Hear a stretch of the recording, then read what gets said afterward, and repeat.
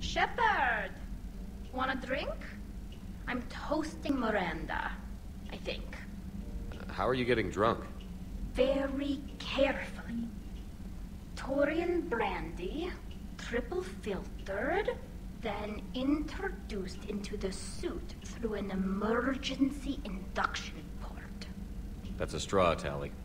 Emergency induction port.